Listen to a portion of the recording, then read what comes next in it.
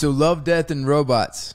Yeah, we're going from Husk, which was made for like Yeah, like seven cents and your credit card, yeah it's to Love, tape. Death, and Robots, which which has all of the budget Yeah. because they've done some of the some of the highest quality animation I've ever seen. Oh my god, I Um, I I thought that exact. Talk about extremes. when I watched it, I was like, well, I mean, we are now on the complete extreme opposite end of the of the production spectrum on this one.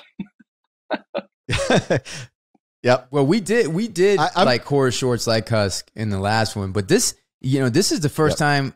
time for this podcast is the first time I saw any Love, Death, Robots. This was the first time. Really? Yeah, I was It's like, been oh my recommended to god, you like hadn't watched them. Oh. But Yeah, yeah, I haven't. it- Yeah. I just haven't watched it, and so I did for this. Yeah. A friend of mine has written like three or four of them, so uh, I started watching them because of the, the ones he wrote, and I wound up watching them all because a lot of them are really good. really good. Um, and Yeah. is the is the animation? Do they use real people sometimes in it, or is it all animated?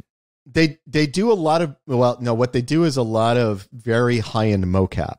Okay. So on another project that I'm working on, um, uh, we've done a lot of research on that because we've been looking into that technology for this other project I'm, I have in development. It's not just body mocap, uh, which you know we did a lot of on the Expanse as well, but they've actually got a system set up where they've got a bunch of cameras capturing the person's face in very high resolution, and they're using that as the template for the computer um, animating the features. So it winds up being incredibly lifelike and you can really capture performance in a way that animation struggled to do in the past because you're getting every little detail of what the actor's face is doing yeah, like you're picking up all the micro expressions in Yeah. addition to like the expressions. Yep. Like it's really hyper realistic. Yeah, I mean, I was blown away by that on that short.